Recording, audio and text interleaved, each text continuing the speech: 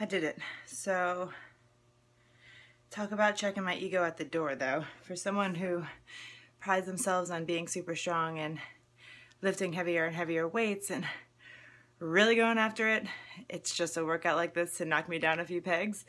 Um, but that's okay. That's where I'm at in my journey. I did I do every rep? No. Could I do every rep in the future? Yes. But I had to keep dropping the weights so that I could actually get more out of it because balance is a whole body game. It's not just an isolated muscle game. And it's something that I have to work really hard at. So it's like when I was new to fitness, actually. When I was new to working out and when I just started T25 and I had to do the modifier the entire time. And then each week I would challenge myself to do 10 seconds of a move unmodified, 15 seconds of a move unmodified, and more and more and more until I could do the majority of it unmodified. If I did T25 today, I bet you I still would do some modifications for sure. There's some of those moves I just can't hack.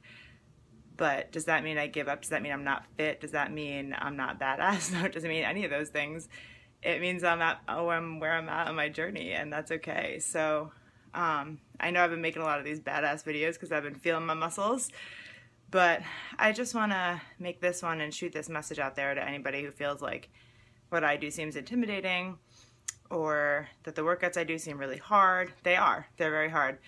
But this is not where I started. I am two years into this. Where I started, the first time I did the ab workout in T25, I laid on my living room floor and cried at 5.30 in the morning. Literally cried. Um, and I couldn't, I couldn't do it. Uh, now I could do it but I couldn't do it then. So I just want to put this message out there for anybody who is afraid of getting started, who's afraid of the intensity, who's afraid of being able to do all the things that I'm putting out there now. I still, there's still a lot I can't do. A and B, where I started, I couldn't do anything.